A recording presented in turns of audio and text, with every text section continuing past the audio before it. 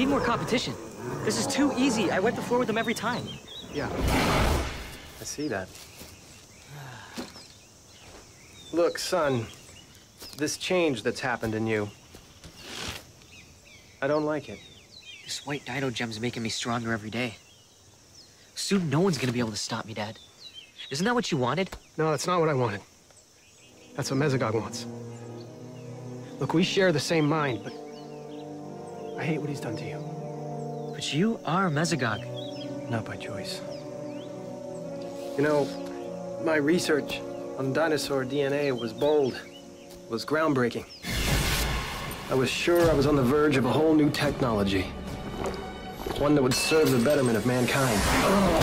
But it was experimental. It's too risky to try on anyone but myself.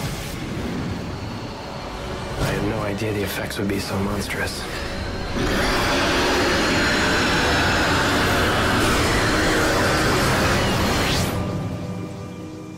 But our plan to bring back the era of the dinosaurs. It's all within our reach. It's not my plan. That's what I'm trying to tell you. This creature, Mesogog, he's poisoned my mind. I never wanted this for you. Do you understand that? Well, it's too late for that now, isn't it?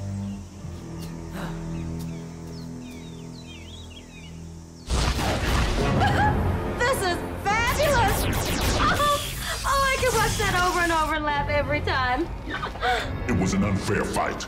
Next time. Next time, he may not be so easy on you. Hmm.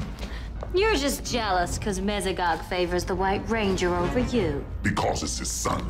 But that won't stop me from destroying him. Right. Whatever. There's something different about you, isn't there? I'm trying a new look. Why? Trying to impress the Black Ranger? He doesn't even know you're alive. Don't go there. Why don't you try and make yourself useful for once? If that is your wish.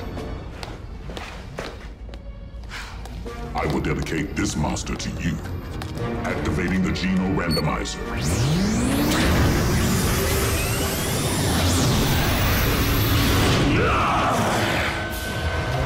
At your service! You're joking, right?